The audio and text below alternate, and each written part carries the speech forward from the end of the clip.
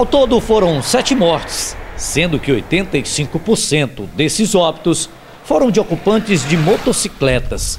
Esses são os números divulgados pela Polícia Rodoviária Federal em relação à Semana Nacional do Trânsito nas rodovias federais do Maranhão. Ainda segundo a Polícia Rodoviária Federal, foram registrados 22 acidentes com 23 feridos nas rodovias que cortam o Maranhão, número menor do que o ano de 2019.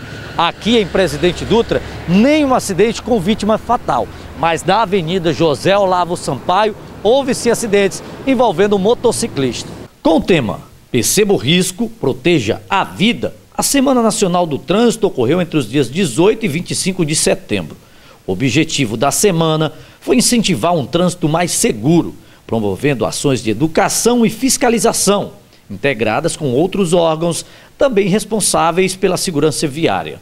A gente teve um contato com um dos mototaxistas, o James foi presidente da, do sindicato até pouco tempo atrás, e a gente tem sempre um cuidado redobrado com motociclistas. Aqui em Presidente Dutra, as ações ficaram por conta da 12ª Ciretran, que também realizou ações educativas voltadas principalmente para esses motociclistas.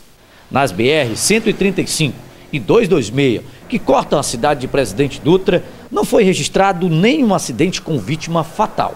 Mas dentro do perímetro urbano do município, foram registrados vários acidentes envolvendo principalmente motociclistas. O motociclista é responsável pela maioria dos acidentes de trânsito. É, então, além de ser uma pessoa também que, de certa forma, é frágil no trânsito. Então, ter uma, uma visão um pouco mais apurada para este tipo de segmento no trânsito é fundamental para a segurança de todos.